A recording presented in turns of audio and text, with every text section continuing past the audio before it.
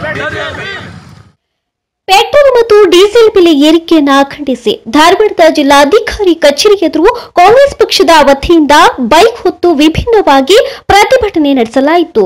ದಿನದಿಂದ ದಿನಕ್ಕೆ ಕೊರೋನಾ ಜೊತೆ ಜೊತೆಗೆ ಪೆಟ್ರೋಲ್ ಮತ್ತು ಡೀಸೆಲ್ ಬೆಲೆ ಕೂಡ ಏರಿಕೆಯಾಗುತ್ತಿದ್ದು, ಬಡವರ ಹಾಗೂ ಮಧ್ಯಮ ವರ್ಗದ ಜನರ ರಕ್ತ ಹೀರುವ ಕೆಲಸ ರಾಜ್ಯ ಮತ್ತು ಕೇಂದ್ರ ಸರ್ಕಾರಗಳು ಮಾಡುತ್ತಿವೆ ಎಂದು ಕಾಂಗ್ರೆಸ್ ಕಾರ್ಯಕರ್ತರು ಹೆಗಲ ಮೇಲೆ ಬೈಕ್ ಹೊತ್ತುಕೊಂಡು ಬರುವ ಮೂಲಕ ವಿನೂತನ ರೀತಿಯಲ್ಲಿ ಪ್ರತಿಭಟನೆ ನಡೆಸಿದರು.